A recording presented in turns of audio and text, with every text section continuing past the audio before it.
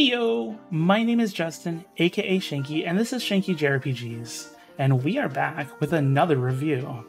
The Legend of Legacy HD Remastered, released on March 22nd, 2024 for the Nintendo Switch, PlayStation 4, PlayStation 5, and Steam, is a remaster of the 3DS game of the same name, and developed by Furyu. For anyone that spent a little bit of time around my channel, it's quite clear that I am a huge fan of the turn-based genre, so naturally, I was looking forward to this game. I never got a chance to play the original, so when I heard that it was getting a remaster, I hopped on the chance to play it. Before we get too far into the video, make sure to subscribe and hit that like button to appease the mighty YouTube algorithm overlords. It really helps out the channel. And big thanks to NIS America for providing me with a review copy of The Legend of Legacy HD Remastered. Now that we're done with that, let's get into the video. So pop that corn and ice that drink, and let's get into the nitty gritty of The Legend of Legacy HD Remastered. What are the main reasons that you play a JRPG? The story, the characters, the interactions, the romance, to have your heart broken? Well, The Legend of a Legacy has very minimal amounts of everything, so let's see what we can do with the story, characters, and setting here. The Legend of Legacy takes place on an island known as Avalon, which was only discovered 10 years prior by who is now known as the King of Adventures. It's mostly unexplored and uncharted, and that's what the whole story is about is going on an adventure in an unexplored area. The Legend of Legacy features seven playable characters. Meurs is the last elementalist, a person with the power to communicate with elementals. Bianca is an amnesiac who wakes up on Avalon only remembering her name. Liber is lured to Avalon with the promise of adventure and treasure.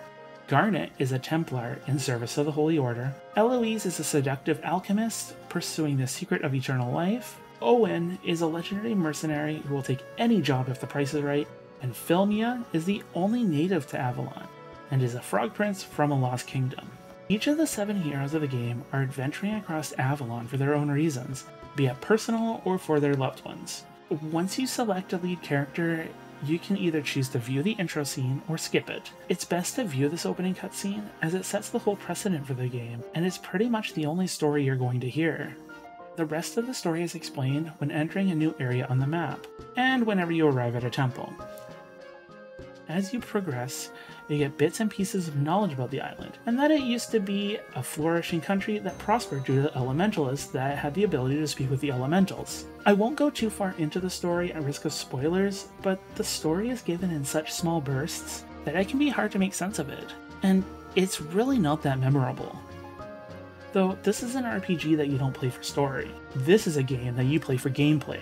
Speaking of which, let's get into that. Do you have a dream of wanting to be a cartographer? Do you want to draw out maps? Do you love Phantasy Star or Etrian Odyssey? Then The Legend of Legacy just might be the perfect game for you. Especially if you also love the Saga franchise. No, not Sega. Saga, as in romancing saga. Get out of here, Sonic. The Legend of Legacy features a hub town of Initium, where all of the characters hang out. When you initially select one of the seven party members, you will be accompanied by two other members. You can find the remaining four playable characters wandering around the town of Initium, so you can build your party as you see fit. To my experience, I did not notice any character being better than any other party member with specific weapons or armor, so really it's all down to personal preference. Personally, I use Liber, Meurs, and Eloise. After the intro, you have the ability to run out onto the island of Avalon and start your adventure. The game doesn't really give you any kind of direction, it generally just says, have fun, and lets you do as you please. You do have an intro map which acts as the tutorial that teaches you about combat and filling out maps, but really that's about it. Let's start with mapping. As you run around each screen, you'll see a percentage at the top of the minimap. As you walk around and fill out that map, the number will increase. Once you've explored the whole map, the number will change from the percentage to complete. At any point, you can take that map for the specific area and sell it to the shopkeeper in Initium. However, you can only sell the map once, so you'll want to completely explore each area on the overworld for maximum profit. Unfortunately, this is one of the only reliable ways to get money, so you have to make it count. Enemies don't really drop money consistently, they do drop items that you can sell for a profit, but really that's about it. Before we jump into the gameplay, there's one more thing I want to talk about, and that is trading. Along the western edge of the pier of Initium, you can send ships out to gather items for you. You can pay 300 gold for a 1 hour voyage, 1000 gold for a 3 hour voyage, or 5000 gold for a 5 hour voyage. The more gold you spend, the higher quality and higher amount of items that can be returned to you. These can be materials, consumable items, or even equipment. It's an interesting system and it runs while you're not playing, so if you're about to finish gaming for the night, send out a ship and when you return in the morning, you might have some new equipment or some really good items. And yes, before you ask, you can mess with the internal clock of your console to skip the wait time and gain a bunch of items immediately. Is it cheating? Maybe a bit, but this game needs it because this game is really difficult. With that, let's get into the combat of the game. Never before have I had a game that has kicked my butt like The Legend of Legacy. This game features some of the most frustrating and difficult combat systems and mechanics that I have ever experienced. If you're familiar with Saga or Final Fantasy II's leveling system, you will somewhat be familiar with The Legend of Legacy. In Legend of Legacy, you do not have a traditional level up system. Instead, stats and techniques level up individually. Let's start with formations. You can set several different formations, compiling of three categories of stances attack, guard, or support. Attack will increase offensive power, guard will increase defensive power, and let block arts protect the whole party and support increases turn speed and recovery art powers. This allows you to strategize based on whatever situation you're currently facing at the moment. For example, if you're fighting a large amount of single target enemies, you might want to go two attack stance and one guard type, so you can have one character nullify attacks, while the other two whittle down the enemy's HP. Or maybe it took a lot of damage and you need to heal, so you might want two go to support and one guard so you can have two characters heal and one character defends them. You can decide on your formation before the beginning of each turn, so you're not locked in at the beginning of a battle. It's a unique level of strategy that adds quite a bit of depth to the battle system.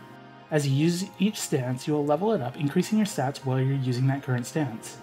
HP and SP also increases during battle, however, it doesn't seem related to the stance you use, or if you use abilities, or if you take damage. It just seemed kind of random. I'm sure there's some kind of algorithm on how it increases, but during my playthrough I couldn't determine what caused it to increase at all. On to techniques. When you equip a weapon, you only have a single technique that uses 0 SP. However, as you use a technique with a weapon, you have a chance to learn a new technique with something called an awakening. Similar to the Saga series, when you awaken a new technique, that technique is learned permanently. And this is completely up to RNG. The only real way to raise the chances is to fight stronger enemies.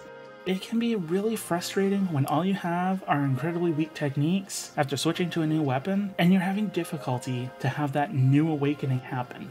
Additionally, each technique has an individual level for each stance. As you use that technique, it will raise its level for your current stance, and its power is relative to the technique's level for the stance that you just leveled it up on. As such, you can expect Legend of Legacy to be incredibly grind heavy, as you not only have to raise your stance levels, but also individual stance levels for each technique that you are using on a regular basis. And last but not least, if you deplete your HP to zero, not only can you no longer act like most RPGs, but it will reduce your max HP until you sleep at the end. However, the plus side, there are no resurrecting items. Any healing item or ability will resurrect you, and after battle, you are automatically healed to your current max HP. Which is good because this game is so difficult, and throughout the entire game, I was struggling for even regular encounters. This is not an easy game.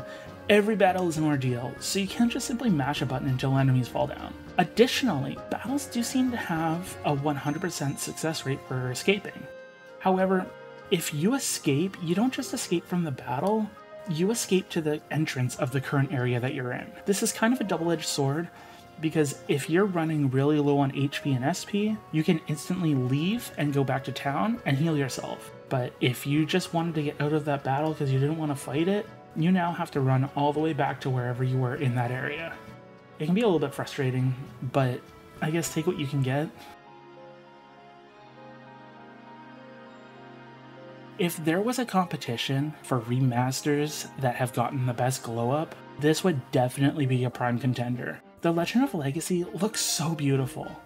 The first thing I thought of when I saw the art style is this whole game looks like a flashback or a cutscene from Okami. Everything is outlined by very thick black lines and has a very cutesy look to it.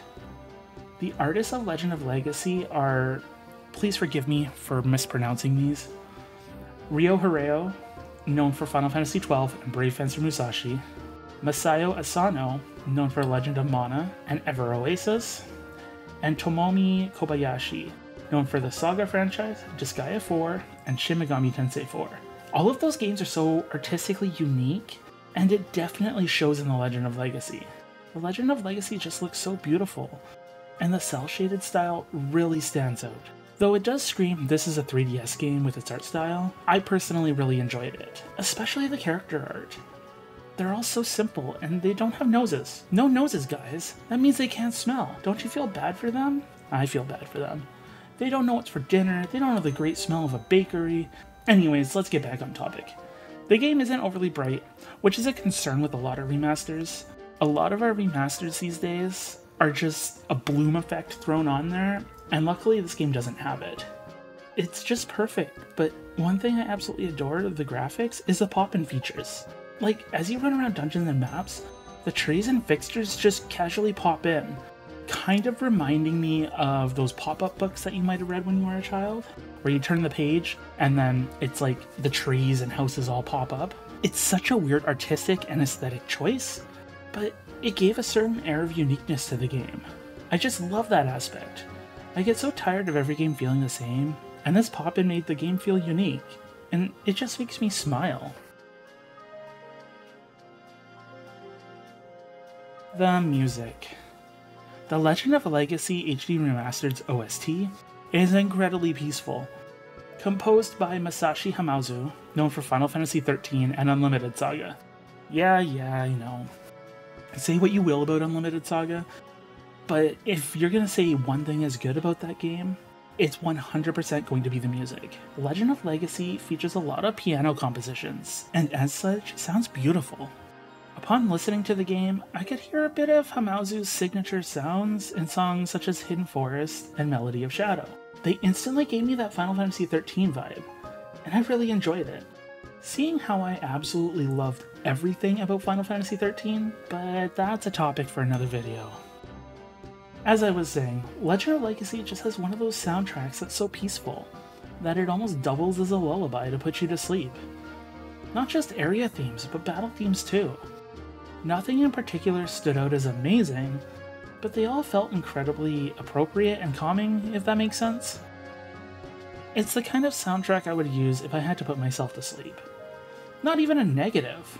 Not everything has to be upbeat and anxiety inducing. Sometimes relaxing music can have just as much of a positive effect on you. So, as Legend of Legacy was originally a 3DS game, it shouldn't be too long, right? My playthrough of Legend of Legacy was about 45 hours. This included lots of grinding and exploration as I was adamant on filling out every area to 100%. You could probably cut that back a little if you just rush through areas, but I wanted to get the full experience myself. As for pacing, honestly, it's up to you. Legend of Legacy is a very non-linear game. So you can probably rush the game in 20 to 30 hours if you only do the mandatory temples, or you could probably spend upwards of 50 hours if you want to level up multiple weapons per character. Personally, I would have preferred a bit more story presence, but it doesn't ruin the game, it just could have felt more complete as a JRPG experience. So there you have it. The Legend of Legacy HD Remastered is a solid experience, but I can't help but feel like it was incomplete, and all the aspects of the game could have been expanded on. Stat increasing methods, skill learning, story, and combat. Luckily, with the developer's future release of The Alliance Alive, which took the concept of Legend of Legacy and expanded on it in every aspect. However, that's a review for another time. Are you going to be picking up the Legend of Legacy HD Remastered? Or did you play the original version? What were your thoughts on it? Thanks for watching, and if you enjoyed this review, consider hitting that subscribe button. If you subscribe, you'll see plenty more JRPG content, reviews, various lists, and perhaps even some RPG news coverage. Anyways, thank you for watching, and as always, have a wonderful day. Super Retro Force.